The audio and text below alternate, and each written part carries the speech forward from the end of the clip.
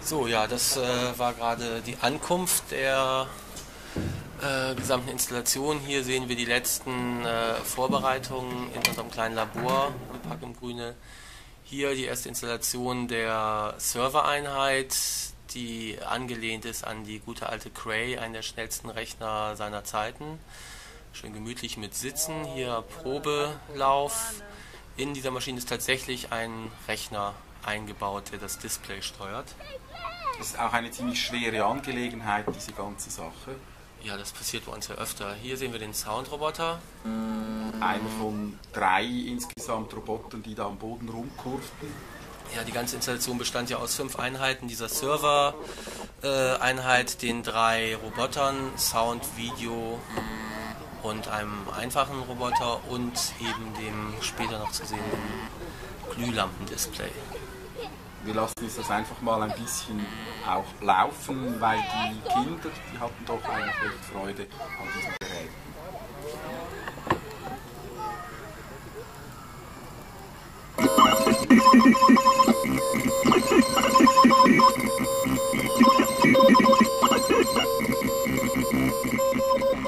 Es hat nicht immer genau so funktioniert, wie ihr das wolltet. Hat euch das gestresst?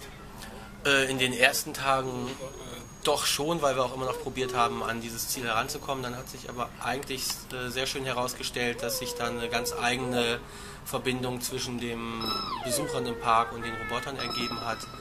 Und äh, so, dass es eigentlich im Endeffekt dem, dem Bild dann doch entsprach, das wir uns vorgestellt haben. Die Kinder waren auch ziemlich tolerant. Die Kinder waren auch fehlertolerant, könnte man sagen. Also sie haben sich am ehesten darauf einlassen können natürlich und ähm, haben es aber auch sehr schnell verstanden und ähm, mussten auch nicht so tausende von Mini-Reaktionen in kürzester Zeit haben, sondern waren damit einverstanden, dass es ein paar Reaktionen gab, mit denen sie sich dann auseinandersetzen konnten.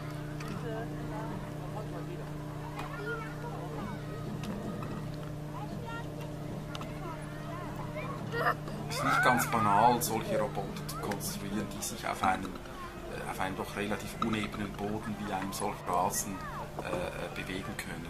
Also es gibt hier eigentlich drei Ebenen, die es wirklich erschweren. Das ist äh, der unebene Boden, das sind Menschen, die rundherum laufen und feste Gegenstände und vor allem sind Kinder, die das Ganze natürlich nochmal äh, robuster verlangen als ähm, irgendwo im Museum. Das ist hier schon im Falle dieser Zentraleinheit hat die das aber gut ausgehalten. Äh, die war wirklich so robust, dass die Kinder sich tatsächlich sogar an den Pilzhut hängen konnten, was sie dann auch tagtäglich getan haben.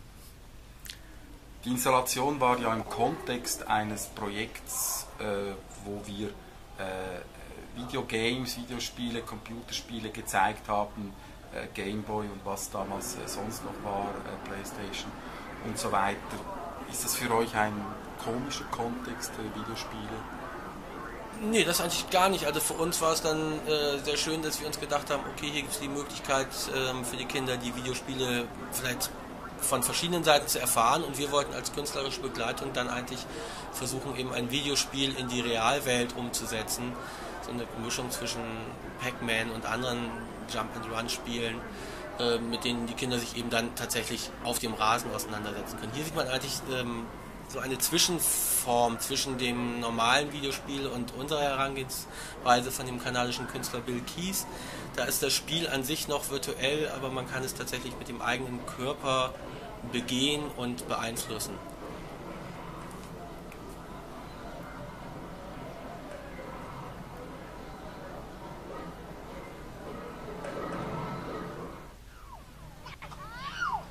Was wir bisher noch nicht so gesehen und auch äh, besprochen haben, das war ein zweiter Teil der Zentraleinheit, das Display.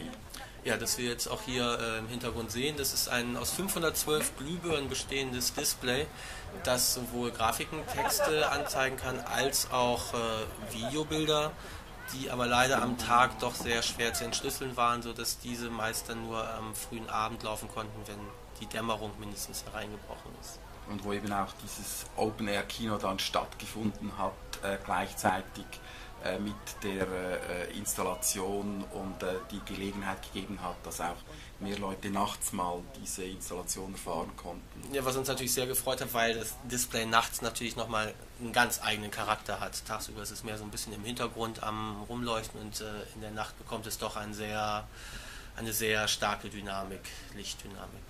Woher kommen jetzt diese äh, Figuren, die man auf dem Display sieht? Ist das auf ein Programm, das da abläuft? Äh, oder ist da irgendetwas Interaktives noch drin? Also die Grafiken sind tatsächlich aus einem ablaufenden voreditierten Programm, das in dieser gelben großen Serverkiste abläuft. Wiederum die Videos werden alle direkt von dem einen kleineren Roboter übertragen und dort abgebildet. Also man sieht sowohl äh, Schriften, die vorprogrammiert sind, als auch äh, Formen, die dann spontan entstehen die gewissermaßen von den Videokameras aufgenommen wurden. Genau, das ist natürlich dann wieder noch eine Programminterpretation, die dort abgeht und es ist dann so, dass es quasi eine Abstraktion ist eines Bildes, die man dann dort auf dem äh, Display zu sehen bekommt. Dieser Roboter hier hat ja auch ein Display, der hat sich mehr mit Klängen beschäftigt. Dieser Roboter, der Soundroboter, gibt eigene Klänge aus, sowohl als auch verstärkt seine Motorgeräusche und diese Geräusche werden dann nochmal visualisiert auf seinem kleinen Display. Die ganze Installation kam sehr schön zur Geltung eben nachts, äh, wo auch noch ein bisschen äh, ein Scheinwerfer mit ins Spiel kam, weil hier äh, konkret eben Fernsehaufnahmen liefen. Ja, hier war es wohl der Hintergrund für eine der wichtigen Schweizer Nachrichtensendungen und hat sich dort eigentlich auch ganz gut gemacht und wir waren froh, dass es eben so auch in der Nacht dann nochmal ein bisschen äh, Publikum fand und wenn es dann auch eine Übersfolien war.